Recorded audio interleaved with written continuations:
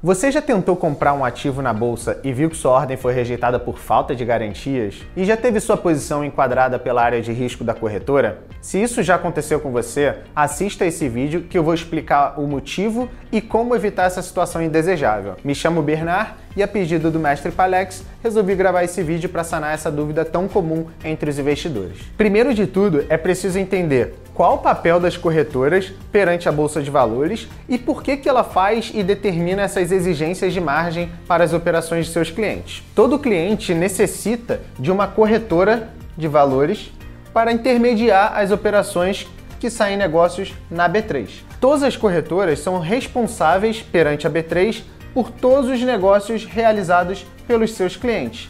O que significa dizer que por qualquer motivo que seja, se algum cliente não honrar com a compra de algum ativo, a corretora será obrigada a pagar essa compra para a B3 e para o negócio ser de fato concretizado. Um detalhe importante é que a B3 faz suas próprias exigências de margem para todos os ativos que são nelas negociados. Sabemos que existem dois tipos de negociação: day trade e swing trade.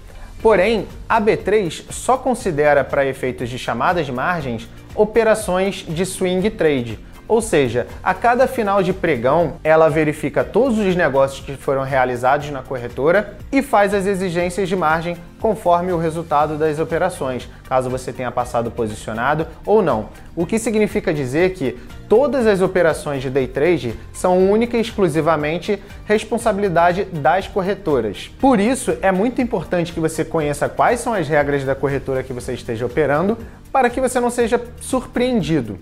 Por exemplo, na XP Investimentos, onde a BR atua, existem algumas regras que você precisa conhecer. Uma delas é a seguinte: faltando 30 minutos para encerramento do pregão, seja ele no mercado futuro, seja ele no mercado à vista, as margens exigidas de day trade mudam, ou seja, viram a chave para swing trade a qualquer momento. Ou seja, se você está operando com uma alavancagem muito grande, de repente essa alavancagem pode ser reduzida sem nenhum tipo de aviso prévio. Vou citar alguns exemplos. No caso de um dos ativos mais operados na bolsa, WN, conhecido como mini índice. Quando você faz operações day trade, a XP exige cerca de 25 reais de margem por contrato. E quando faltam 30 minutos para o fechamento do pregão, essa margem exigida muda de 25 reais para cerca de R$ 1.500 por contrato. O mesmo vale para o ativo WDO, cuja margem exigida durante o day trade é de cerca de 25 reais e ao final do pregão passa a ser exigido R$ 2.000 por cada contrato. Note que essa margem exigida pela corretora não equivale à mesma margem exigida pela B3. A B3, por ser mais conservadora e por dar autonomia às corretoras para exigirem suas próprias margens, permitem que as corretoras criem algum tipo de alavancagem. E por que, que as corretoras fazem isso?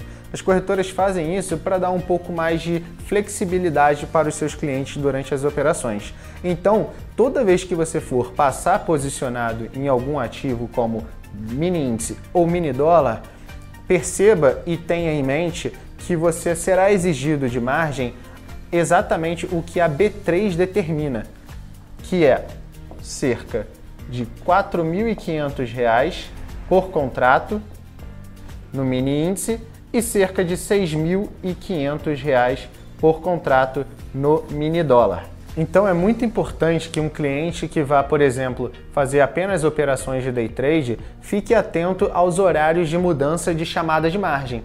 Por quê? Vamos dar um exemplo prático. Se o cliente tem mil reais em conta e deseja operar um mini índice apenas no day trade, o que vai acontecer? Ele tem mil reais de garantias quando ele abrir o contrato, ele vai consumir 25 reais dessa margem e vai sobrar cerca de 975 reais para oscilações do mercado.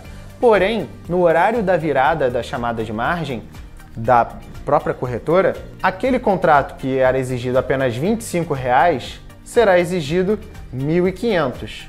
Ora, se você só tinha mil reais em conta inicialmente e agora está sendo exigido R$ 1.500 por contrato, significa que você ficou com as suas garantias negativas em 500 reais na corretora. Independente de você estar ganhando ou perdendo nesse momento, se você não estiver ganhando mais do que 500 reais para assumir as suas garantias negativas, você poderá ser enquadrado a qualquer momento pela corretora compulsoriamente. E agora, um outro exemplo que é muito comum também é quando o cliente tem as garantias necessárias que a corretora exige para passar posicionado, porém ele não tem as garantias que a B3 exige. Nesse caso, podemos ilustrar aqui, vou dar o exemplo com o WDO. Se você vai operar o ativo WDO, tem cerca de R$ 2.500 em conta de garantias e está posicionado em um mini contrato de WDO, quando vira a chave de day trade para swing trade, é passado a exigir dois mil reais por contrato. Ou seja, você ainda permanece com cerca de 500 reais de garantias positivas. Ou seja, você consegue passar posicionado. Porém, a bolsa exige cerca de R$ 6.500 por contrato.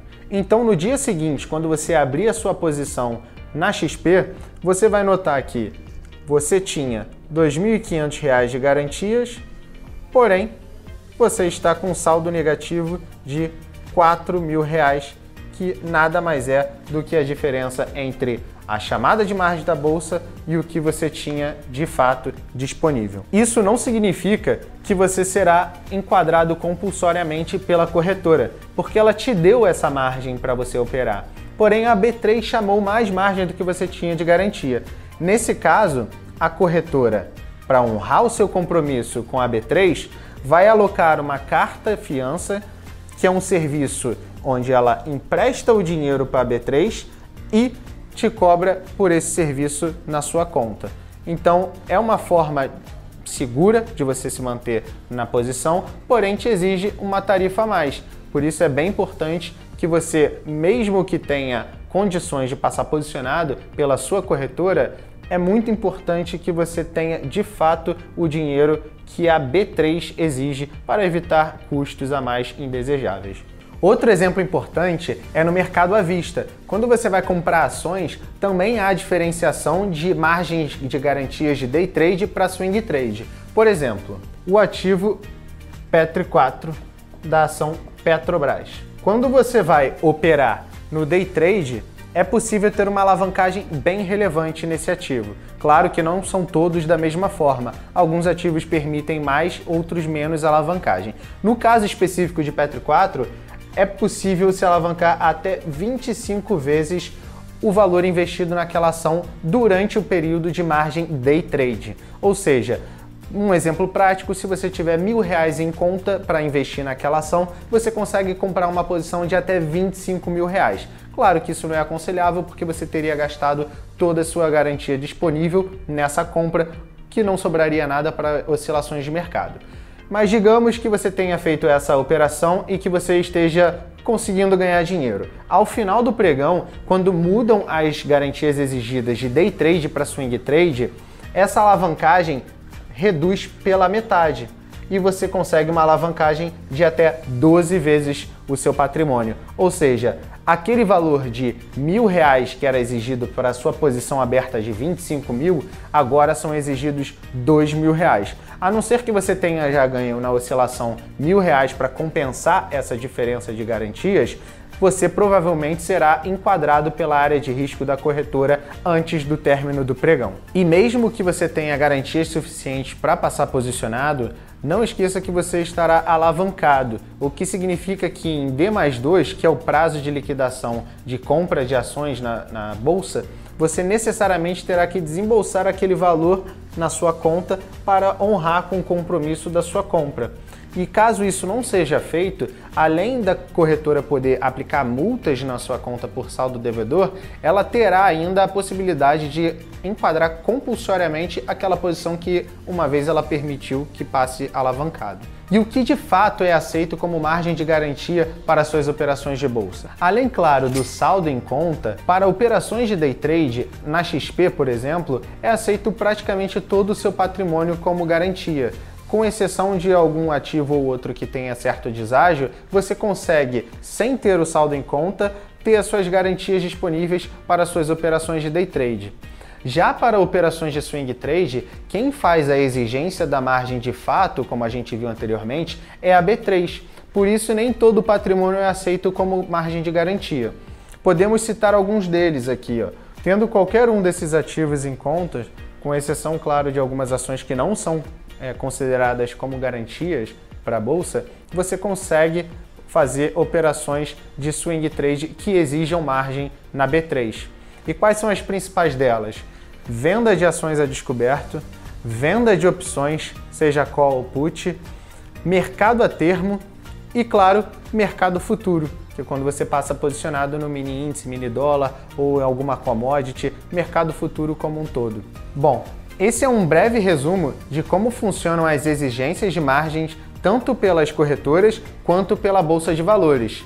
Lembrando que é muito importante que os clientes estejam sempre atentos e monitorando como estão suas garantias durante o pregão para que evitem maiores surpresas. Espero que eu tenha conseguido contribuir de alguma forma para o conhecimento de vocês e se ficar qualquer dúvida, não hesite em me chamar pelo link da bio do Mestre Palex. Um forte abraço e até a próxima!